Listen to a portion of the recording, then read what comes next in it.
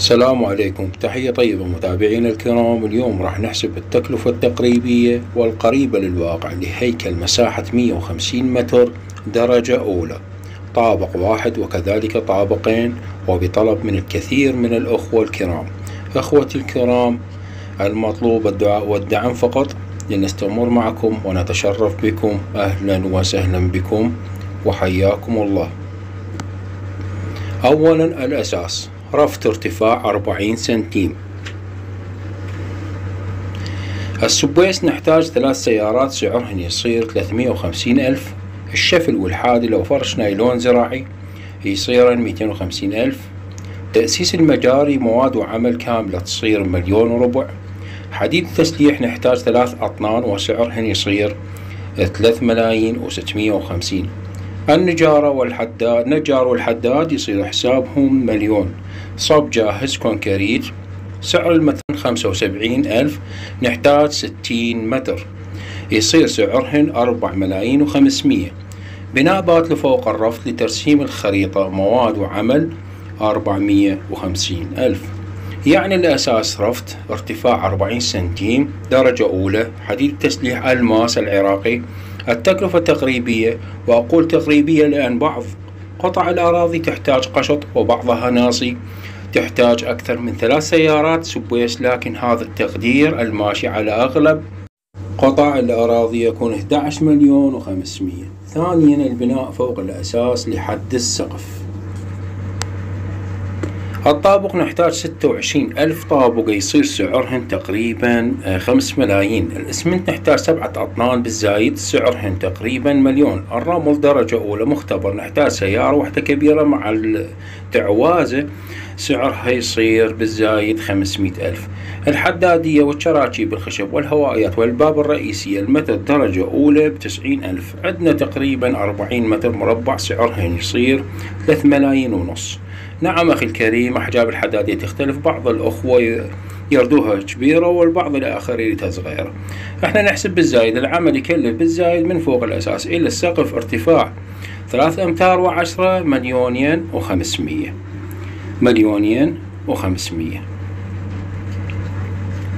إذا ستكون التكلفة التقريبية للبناء من فوق الأساس إلى السقف مع الحدادي والشراكيب مواد وعمل 12 مليون و500 يعني نقول 13 مليون. ثالثا السقف. المرحلة الثالثة نجي على السقف. نحتاج حديد التسليح طنين ونص سعره يصير 3 ملايين ونص. النجار والحداد ياخذ مليونين وخمسمية. الصب الجاهز المركزي تحتاج 30 متر مكعب. سعر المتر الواحد 75 ألف يعني يكلف مليونين وربع.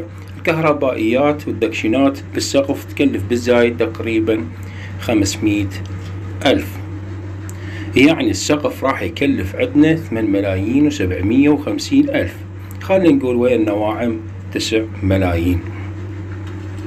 رابعا الستارة. أول أول تشريفة أول وارش حسب تسمياتكم مع البيتونة.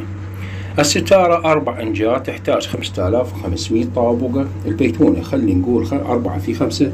تسع إنجات تحتاج خمسة آلاف طابقة. يعني راح نحتاج عشرة آلاف وخمسمية طابقة فلوسهن تصير مليونين. رغم نحتاج تاكس سعره ميتين ألف الإسمنت نحتاج ثلاث أطنان سعرهن يصير بالزايد 400 ألف تصعيد المواد 400 ألف سقف البيتونة يكلف كرسته وعمل مليون شباك زائد باب للبيتونة 400 ألف أعمال البناء تكلف مع النواعم مليون دينار. هاي بالنسبة للستارة والبيتونة. يعني البيتونة والستارة راح تكلف بالزايد خمس ملايين وخمسمية. حاليا كمل هيكل طابق واحد وصارت التكلفة التقريبية تسعة وثلاثين مليون. أخوة الكرام هسه صار عندنا طابق واحد. زين إذا طابقين هسه هاي تكلفة طابق واحد. إذا ردنا طابقين إيش قد تصير التكلفة؟ هم راح نحسبها إن شاء الله. تابع الفيديو حتى تعرف التكلفة مال الطابقين. حتى نحسب التكلفة التقريبية لطابقين. وركز وياي يا طيب. تكلفة الطابق الكملنا نطرح منه الأساس فقط مثل ما واضحة العملية الرياضية معكم. يعني تكلفة الطابق الثاني وحدة راح يكلف سبعة وعشرين و500 مع إضافة 500 لتصعيد المواد يصير 28 مليون. إذا إخوة الكرام الطابق الواحد هيكل مع الستارة والبيتونة يكلف تقريبا 39 مليون. أما الطابقين مع الستارة والبيتونة راح يكلف 67 مليون. ملاحظة هامة أخوتي الكرام هذا التقدير التقريبي والقريب للواقع. نعم اختلاف الخرائط وجودة المواد تأثر بزيادة أو نقصان هذا الحساب وكذلك يجب الأخذ بنظر الاعتبار. هذا الحساب أنت من يدير العمل وليس مقاول أو مهندس أو شركة. لا تنسوني ووالدي من خالص الدعاء ولا تنسون الدعم لهذا المقطع لكي يصل الكثير من الناس المحتاجة حساب تكاليف البناء. تحياتي لكم أخوكم المهندس عماد رحيم العبادي. حياكم الله.